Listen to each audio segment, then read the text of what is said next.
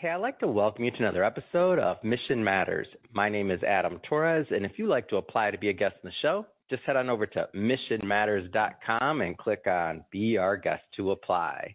All right, so today's guest is Geoff Thatcher, and he's founder and chief creative officer over at Creative Principals and also author of The CEO's Time Machine. Geoff, welcome to the show. Hey, thanks for having me. All right, Geoff. So lots to talk about today. Of course, I want to get further into what you're doing over at Creative Principals and also learn more about the experience model and how it's used by designers to create attractions. But just to get us kicked off, we'll start this episode the way that we start them all with what we like to call our Mission Matters Minute. So, Geoff, at Mission Matters, our aim and our goal is to amplify stories for entrepreneurs, executives, and experts. That's our mission.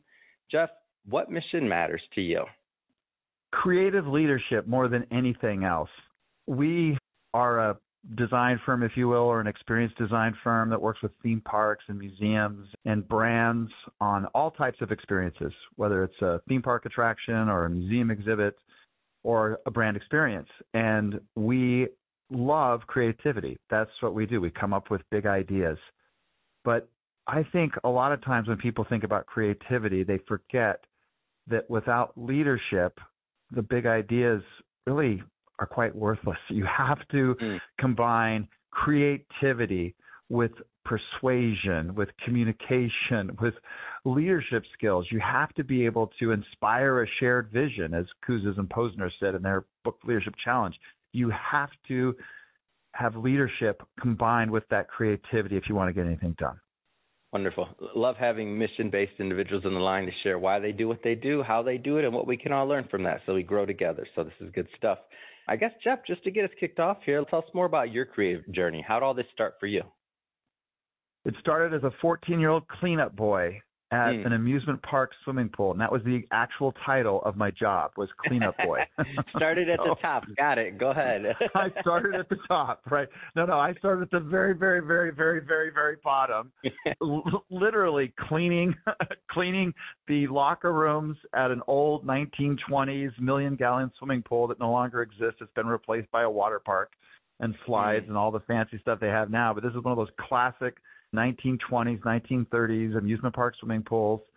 And I was the cleanup boy. I cleaned the locker rooms. I cleaned the the deck. I cleaned the water. I cleaned, you know, I mean, you know the scene from Caddyshack. The Caddyshack. yeah, I got so, it. I got it. If you're too young to know that scene, you just go go Google it, go mm-hmm, look it up, mm-hmm, go watch mm-hmm. it. So yes, we did have to occasionally retract items from the swimming pool that were not yeah. clean. So, and then after two years as a cleanup boy, I started when I was 14. Then I was a lifeguard. And then I went from a lifeguard to being a train engineer on a steam engine that went around the amusement park and there was zoo animals and, you know, historic villages. And then I was a, a manager in the rides department. And then I shifted from rides to entertainment. I was a stage manager and then I was a stunt man, DJ, then, you know, continued to work as a stage manager in, in entertainment. And then I graduated from college in journalism. And, you know, the amusement park where I worked, Lagoon Amusement Park, if you've been, in Farmington, Utah, uh, great, great park, over a million people a year, family owned. And, you know, they offered me a full time salary position, but I turned them down because I wanted to go pursue my degree, my mm. journalism major. So I got a job at a newspaper and absolutely hated it. Mm. I, I hated it.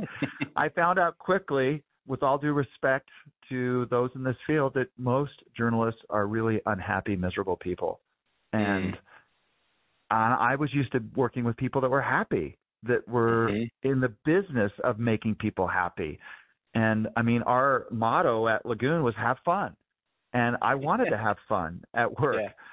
And I missed it. And so, long story short, I got a lucky break and I got a job as a creative writer for a firm in Cincinnati, Ohio, that designed theme parks and museums and brand experiences, and started our own firm in 2017.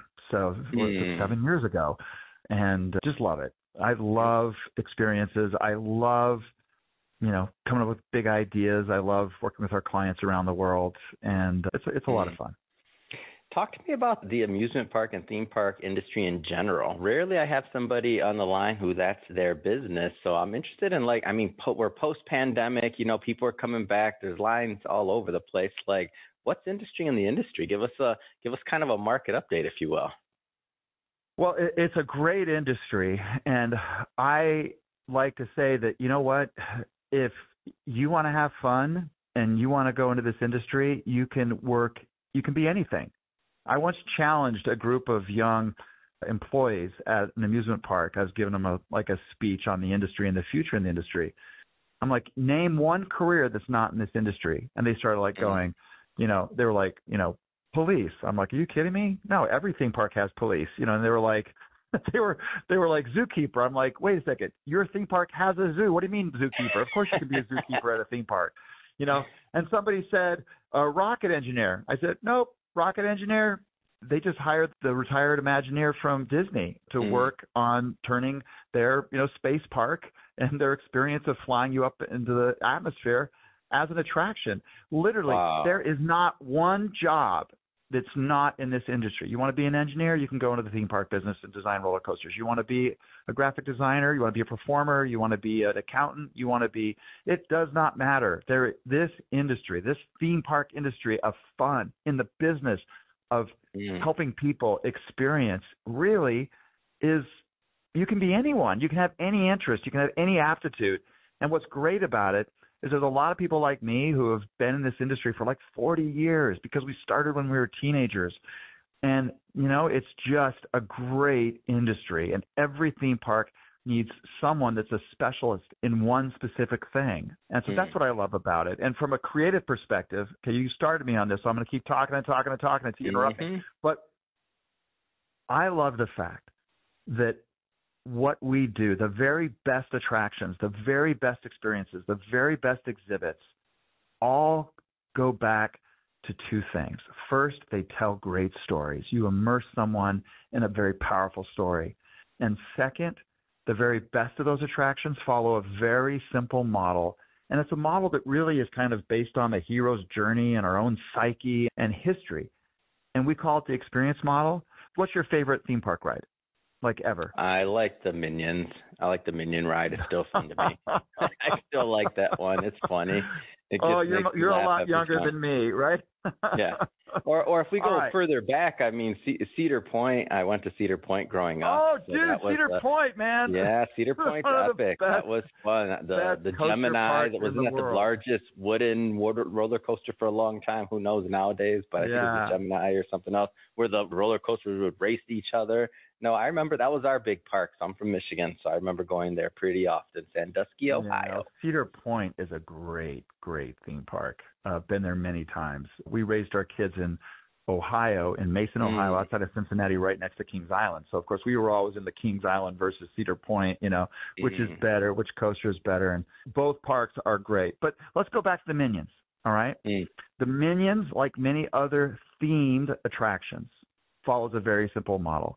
First, what do they have to do? Well, they have to attract your attention. They have to draw you in. So they have this big sign, this big graphic out front, this, you know, a lot of attention that like lets you know, like, hey, this is Minions.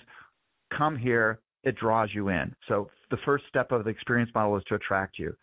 Then once that happens, they need to build trust, right? That trust usually in the best experiences and attractions and exhibits happens in the queue. It happens as you start stepping, taking the first steps into an experience. So, for example, same park, right? The Minions is at Universal Studios. Let's go over to the Hogwarts Castle, the Harry Potter, and you know mm-hmm. the Forbidden Journey ride, right? I remember being in that ride when our oldest daughter Zoe, who's a designer and illustrator now at Creative Principals for us, when she was 14 years old, huge fan of the books, right? We're standing mm. in that queue in the castle. You've been there, right? The Harry oh, Potter. Yeah. Oh, yeah. yeah. So we're standing in that castle, and she turns to me and she says, "Dad, this is legit." That's that's the second step of that experience model is trust. You got to mm. build trust with someone. Then, of course, and it happens at Minions, you step into that pre-show and the Minions come out, and what do they do? They tell you what's going to happen. They give you information. They mm-hmm. give you the information that you need to move forward in the journey. So, the first step of the experience model, attract. The second step, build trust. Then third, once you've done that, once you've got their attention, once you've built their trust, then you give them the information they need to move forward on the journey. The fourth mm. step then is you ride the ride. You know, it's why you're here. You internalize the story. It's the whole purpose. Harry Potter, it's to ride the broom, right? Minions, I sorry, it's been a long time since I've been on Minions because my kids are a bit older. It's a simulator, and you go in there and you ride the experience. You, it's why you're mm. there. You internalize the story, and all the best attractions are really about immersing you in that story. And all the best museum exhibits, same thing, are about immersing you in that story. And then mm. finally, what happens? Well, you want to challenge people to do something. Now, typically at a theme park, that's to buy something, right? You exit mm-hmm. Minions and you're right going through retail and they have all those little Minion stuffed animals oh, and yeah. plush and T-shirts and everything else, and they want you to buy it. Now, that's the whole exit through retail, which is very common in theme parks. But the very best attractions, right? Combine that retail with an experience. And so what it's really about is inviting you to become part of the story. So, for example, go back to the Harry Potter at the same, you know, Minions, mm-hmm. same Universal Studios. You're standing there after ex- exiting the castle, and you're in the retail store, and you're standing there looking at the jerseys, the Quidditch jerseys, and you're like, okay, which one of us is is Gryffindor? It's my wife and my mm-hmm. youngest daughter Mia. Which one of us is Ravenclaw? That's our son Joel. Which one's Hufflepuff? That's Zoe. And then which mm. one is Slytherin? Unfortunately, that would be me. We become part of the story. The very best exit experiences do more than just hawk wares and sell you stuff. The very best of those ex- exit experiences actually challenge you to act, to do something. I mean, like, you know, the Holocaust Memorial in D.C., there couldn't be a more serious experience in the world right? And mm-hmm. same thing, right? Attract the architecture of that museum draws you in in this aesthetic that like is very powerful, industrial concentration camp aesthetic. It's very haunting, right? And mm-hmm. then that's the first. Then trust. Well, they tell you the history of anti-Semitism and the rise of Nazism and then inform all these little small little videos and theaters you step into as you begin your journey through the Holocaust Memorial in DC really help to establish the fact that this is the information you need to move forward in the journey. Mm. But it isn't until, if you've been there, it isn't until you cross over a bridge and go downstairs where they immerse you in the tragic scale of the Holocaust. You walk past thousands of shoes and you're surrounded by family pictures of people who were killed. And you're immersed in that story. And then they don't want to sell you stuff. No, there's not a retail store as you exit. There's a rotunda with an eternal flame. Because what? They want you to act. They want you to resolve that something like that will never happen again. That's the experience model. And you can trace that experience model back in time, back through history, part of the hero's journey. It's built into our psyche that we want to have we want someone to get our attention. Then we want to build trust with them. Then we want to give them information so they can move forward. Then internalize that story and then get them to do something. I want to jump around a bit here. I also noticed that you have a book, and for my long term listeners, they know I love promoting authors and books. So, The CEO's Time Machine, how did that come about?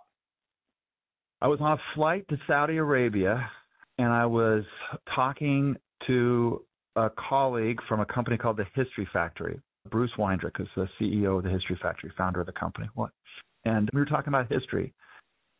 And as I was bored on this flight, I got this idea that wouldn't it be interesting if you had a time machine as a leader, as a CEO, and you could go back in time and talk to people and learn, right? Go back to the Wright brothers and say, how come you didn't dominate this market, right? Mm, and then I'm like, mm. okay, and wouldn't it be cool if you could travel in the future and see the future?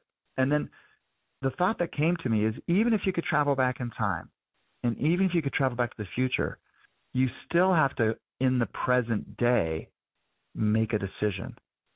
And mm. that's the hard part because actually, if you just go read books, you can find out what the Wright brothers had to say about their lawsuits and why they didn't dominate the industry.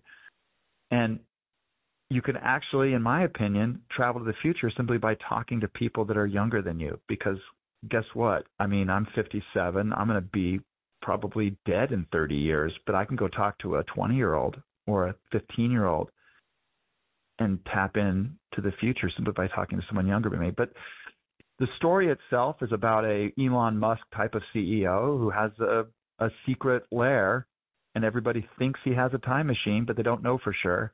And the book is about how this CEO is is turning over the reins of his company to his protege, his chief marketing officer, and she's going to be the new CEO.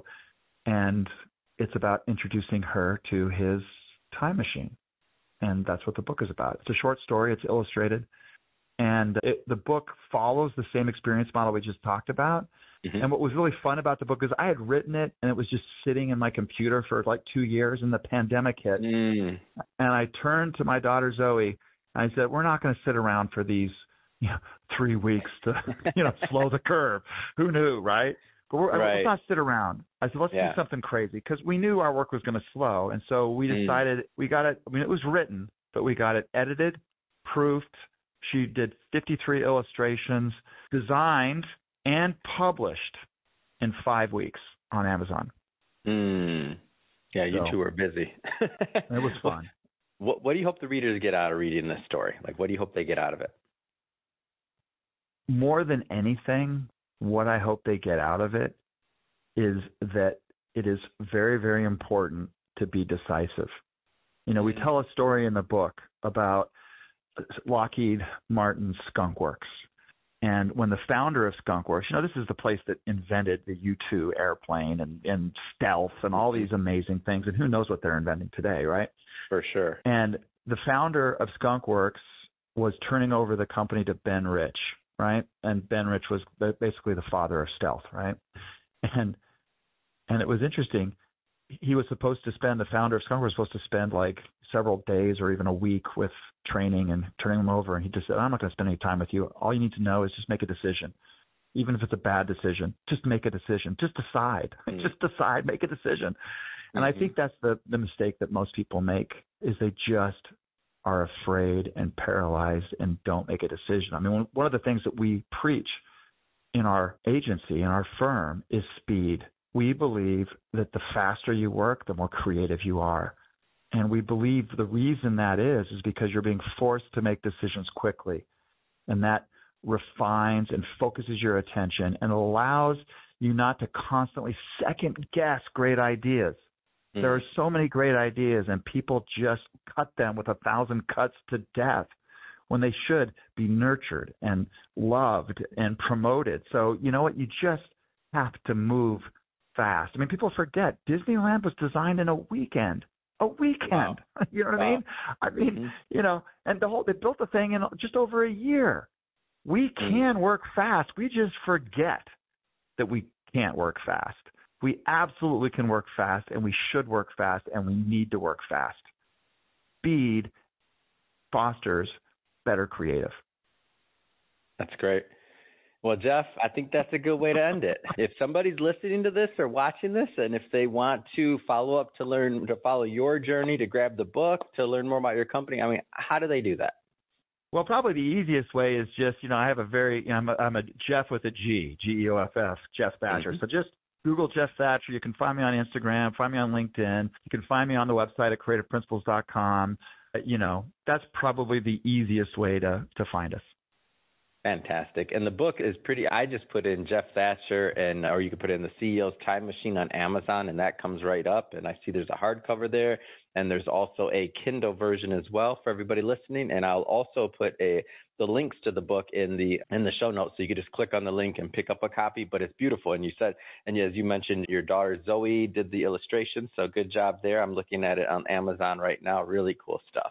So Speaking of the audience, if this is your first time with Mission Matters and you haven't done it yet, this is a daily show. Each and every day, we're bringing on new business owners, entrepreneurs, and executives, and we don't want you to miss a thing. So hit that subscribe button so that you get the notification and you know what's coming on tomorrow. So good stuff there. And Geoff, thanks again so much for coming on the show. It's been a pleasure. Hey, thank you. Really appreciate it.